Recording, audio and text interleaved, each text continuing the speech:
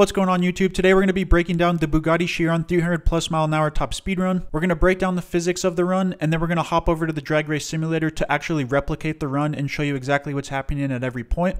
Let's hop in. Okay, so let's start with what we do know about the run. We know that they reached a top speed of 304.77 miles an hour. They're using a low drag version of this car, although we don't know all the specs for it. So I'm estimating the coefficient of drag to be 0.3 versus 0.35 in a normal Chiron, and I'm estimating the frontal area to be 2.07 meters squared, exactly the same frontal area as a normal Chiron. Weight, you guessed it, I'm using a normal Chiron. We don't know the official weight of this car, and then I'm also adding 59 kilograms to make a nice round number for the driver and any other equipment they had in the car. Air density density is interesting. So at sea level, air density is right around 1.2. However, they did this run in a little bit of elevation and it was pretty warm. So I went back and checked the weather for that day and I actually got the air pressure reading and I converted that to air density based on the temperature. So I got 1.175 and that's the number we're going to use for air density. And we know the power, it's 1600 PS or 1578 horsepower, which is the same as 1177 kilowatts. We're now going to calculate how much power this car should have to reach that top speed with all these given specs that I've listed on the screen. So the two forces that are acting on the car to slow it down are air resistance and rolling resistance. Air resistance is a much bigger force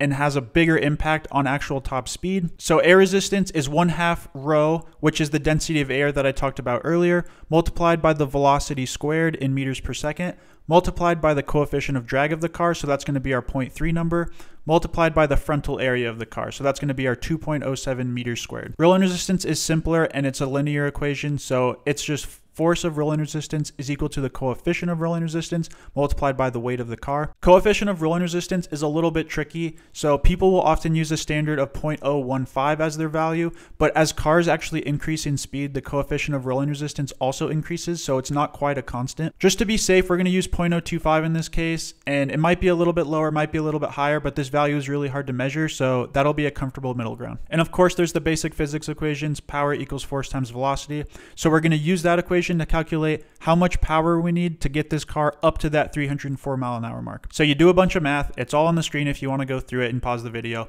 You see that you need 922.9 kilowatts to overcome air resistance at 304 miles an hour and only 70.8 kilowatts to overcome rolling resistance. So the total power you need is about 994 kilowatts. We know that cars do not put 100% of their power to the ground. There's something called drivetrain loss. In an all-wheel drive car like the Chiron, it's probably around 85%. And if you do the math with the actual output of the Chiron, we actually calculate the drivetrain efficiency to be about 84.4%. So now's the fun part. We're actually going to replicate their top speed run in a physics-based drag race simulator. So let's hop over to that and I'll explain the setup.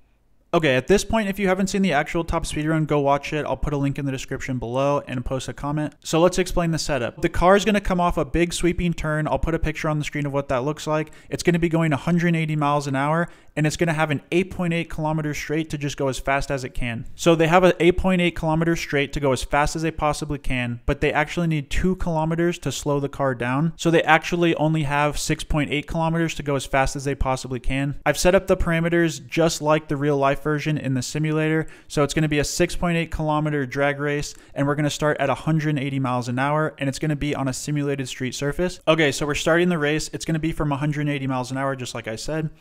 And we can see we're starting in fifth gear here, and quick shift, it's pulling really hard at 220 miles an hour. And at about 240 or so, it's going to shift into seventh gear. And disclaimer here, I actually don't know the seventh gear ratio of this car. They never released any information. I'm just estimating it based on the numbers that they provided for redline and how fast they've gone. And so you'll see in the top of seventh gear we'll actually reach pretty close to redline. And as it keeps going through, I'll speed this part up a little bit, but I actually don't want to show the actual footage side by side. It might be cool for you at home to check out the footage side by side and see how this compares, but I don't want to get any copyright issues or run into any issues like that. So we can see it's pulling strong here, but it's kind of hitting a wall at about 295 miles an hour. And as we come through the finish of the 6.8 kilometers here, you'll actually notice that we don't hit the 304 miles an hour that they hit. And let's dig into that a little bit more and see why. Let's talk about a couple interesting things in regards to top speed runs. So in order for it to be a world record, it has to go in both directions. So a car will do its top speed in one direction, it'll do top speed in the other, and then we'll average the two out. The reason they do that is because of elevation change and wind. So if you have a really strong tailwind, that's going to increase your top speed by a ton. In the case of the Chiron, they're actually only doing this test in one direction And so there's some issue with the tarmac being grained in one direction, so they actually aren't doing this in two. I'm not trying to take away the record from Bugatti or say this isn't impressive because it's extremely impressive. I'm just trying to give you the details and break down what exactly is happening. And so if you add a tiny tailwind to this run, even as little as six or seven miles an hour, you'll actually get to that 304 mile an hour top speed. So I actually looked up the wind data on that day, and there's not much of it, but it says it was gusting anywhere between 5 and 14 miles an hour. And so I'm to show you what it looks like to add simply a 6 mile an hour tailwind into the simulator, and let's see what top speed it hits. So I'm not going to bore you with the whole intro to this run. It's now going 299 miles an hour, the same distance as before. And this is with a 3 meters per second tailwind. So I'm to pause it real, right here. And 3 meters per second is about 6.7 miles an hour. And you can see before our finish mark, it's hitting 303 miles an hour.